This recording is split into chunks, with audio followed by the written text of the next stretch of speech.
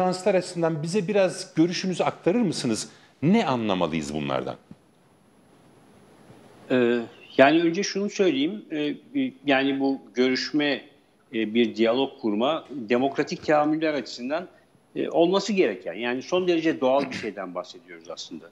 Ee, yani işte meclisin üçüncü büyük partisi ayrıca e, milyonlarca seçmeni temsil eden bir parti.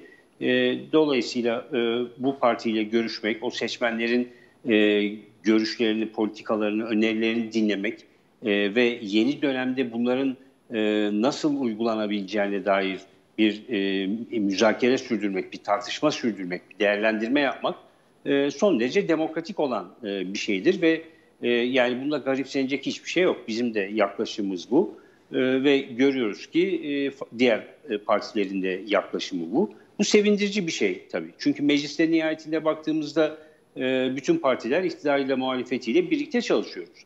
Yani birlikte komisyonlar oluşturuyoruz, e, kanun tekliflerini birlikte tartışıyoruz. Evet anlaşamadığımız e, birçok şey oluyor ama sonuç olarak bir e, ortak çalışma zemini içinden çıkıyor bütün e, bunlar. Bir demokratik siyasetin gereği. E, onun için yani görüşmek çok doğal ve olması gereken. Bunu bir kenara koyayım.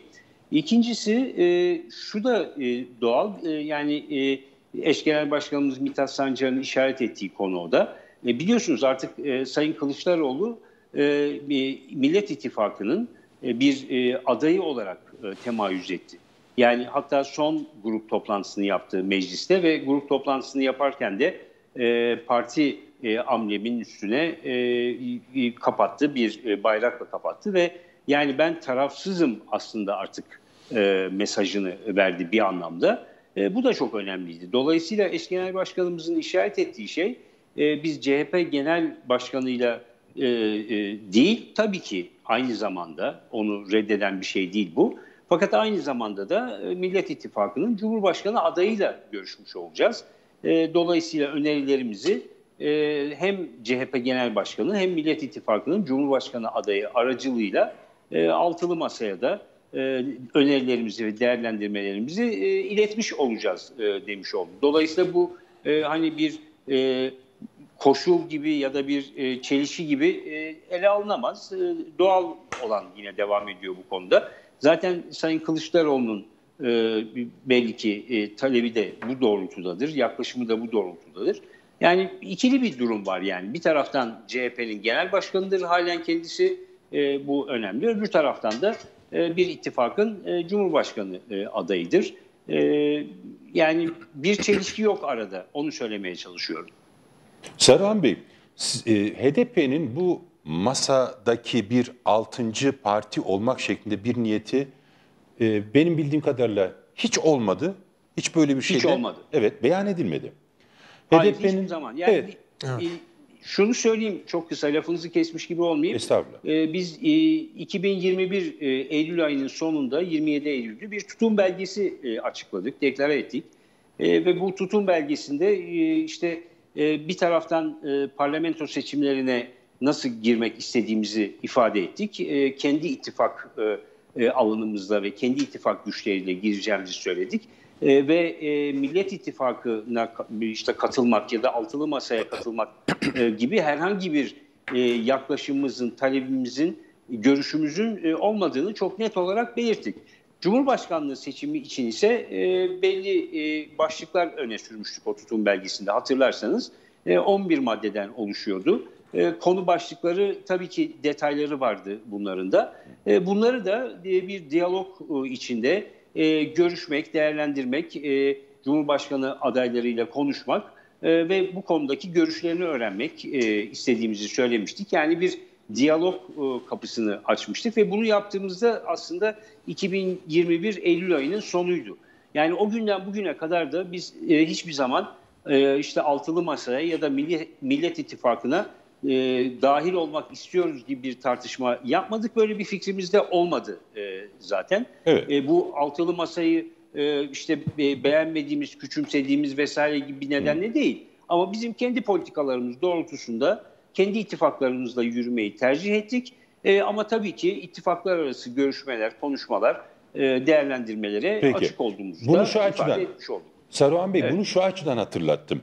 Bakın bu, bu HDP bunu defalarca bu kadar net ifade etmesine rağmen e, iktidar medyasında ya da tam olarak iktidar medyası diyemesek bile sanki kendisini merkez medya gibi e, yutturmaya çalışan ama evet. iktidardan tir tir e, korkan e, bir takım kanallarda yorumcular sürekli olarak HDP'ye bakanlık verilemez. Sayın Oluş bakanlık talebiniz oldu mu hiç? E, hiçbir bakanlık pazarlığı yapmadık e, bugüne kadar. E, yani işte 2021 Eylül'den bugüne kadar e, diyorum. Böyle bir e, e, pazarlık içinde olmadık. Bir pazarlık yürütmeyi doğru bulmayız zaten. Bizim esas e, yaklaşımımız Türkiye'de bir otokratik sistem inşa edildi maalesef. Ve bu otokratik sistemden uzaklaşmak gerekiyor. Demokratik bir değişime ihtiyaç var. E, demokraside güçlü bir demokrasi inşaya ihtiyaç var.